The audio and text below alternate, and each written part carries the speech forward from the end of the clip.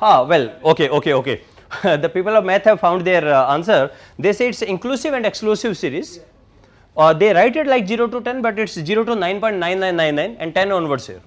Okay, that's uh, very valid. There is inclusive and exclusive. So some of the times they write uh, 0 to 9, 10 to 19, 20 to 29, so on. Uh, this is uh, from that that 10 will be considered here, not here. Otherwise, it's okay. Does it make sense to you? Now, shall I ask you some tough questions? There is a Likert scale, strongly disagree, disagree, neutral, agree, strongly disagree. Strongly agree. On the same statement, A said I am here, B said I am here. Can I say reaction of A towards disagreement is more intense than that of B? Reaction towards that particular statement in terms of disagreement is more intense for A than that of B. Agree? If C is here neutral, it means B is somewhat in disagreement than C for the same statement. Yes or no?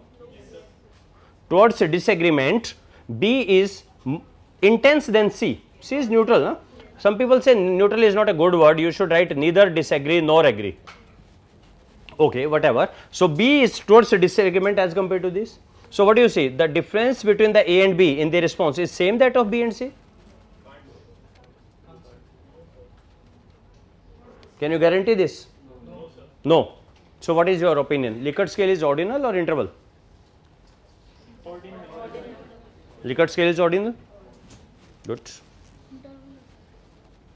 then tell how.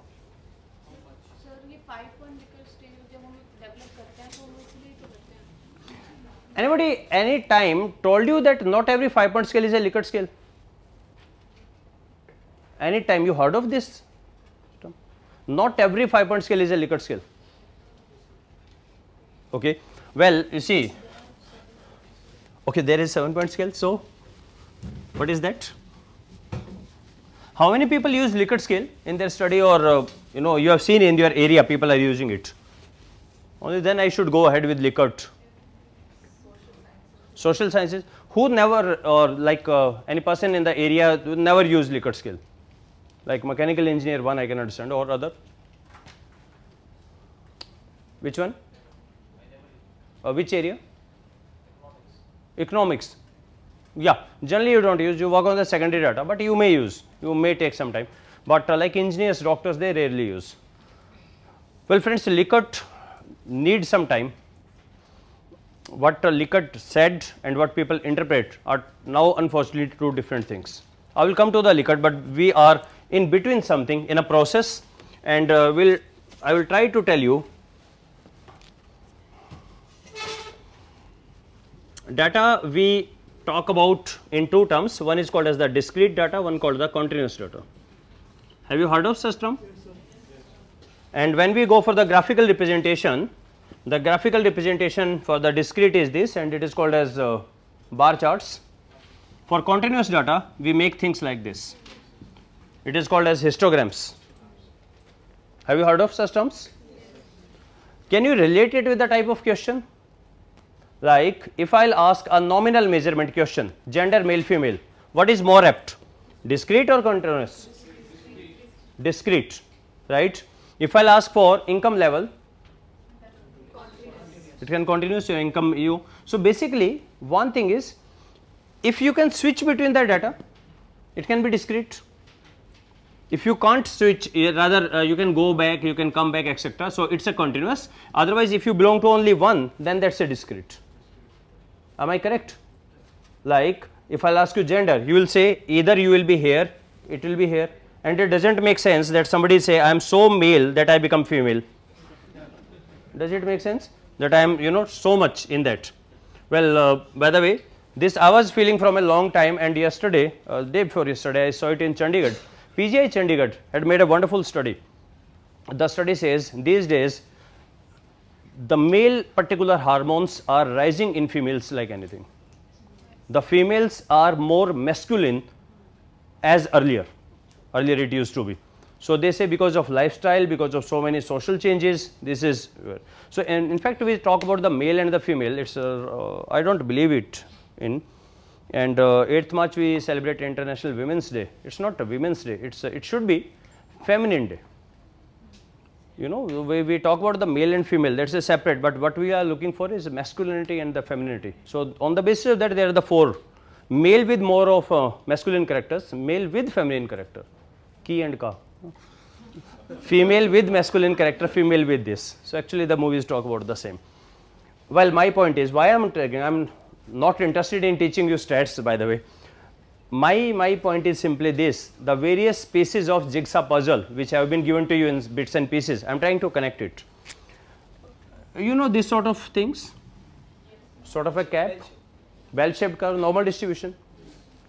What is a normal distribution? Basically it says if you attach the midpoints there and if it comes like into a bell shaped curve, it is called the normal. My question is, what is your understanding? Normal distribution requires continuity or it can be here also? Continuity. So, this is a scale, continuous scale is such, you put your finger anywhere and that value is possible. Here you put anywhere, no, go to the nearest one. Getting my point? So, discrete is one. So, in very simple terms for students we tell if decimal is allowed it is continuous, if decimal is not allowed it is a discrete. You look for. If I ask me is uh, your age if you noted down the question discrete series question x and f 15, 16, 17 there is no 15.1 allowed. Either 15 or 16 that means it is a discrete it is a continuous. One. Number 2 we have just done nominal requires this nominal and ordinal. They require this and interval and ratio we represent using continuous interval and ratio we use using this these two we collectively call as non metric metric is the latin root meaning uh, measurement so non metric non is not what does it mean not measurement? It means approximate measurement. Remember when I asked 0 to 10 what is the age of A? All you can tell is it's more than 0 and less than 10. How much is the age of A you do not know. It is approximate measurement. And if I ask age like this what is your age? A said 8 years I know exactly the 8 years is the age. This is called metric and this is called non metric. We use with the metric data we make this sort of histograms and with the non metric data we make discrete.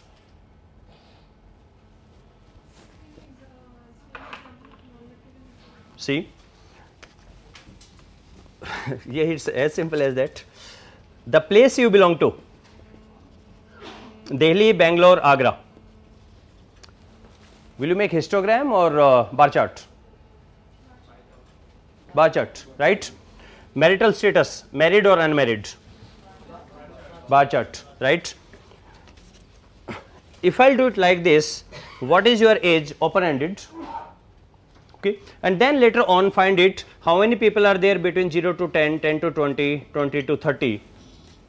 Will I make a histogram or bar chart? Histogram. Okay. So, basically whatever question you will get into open ended question they are called as the ratio measurement and whatever the questions. So, just 2 3 points let me just give you a summary of the entire and then there is a interesting observation if you have noted it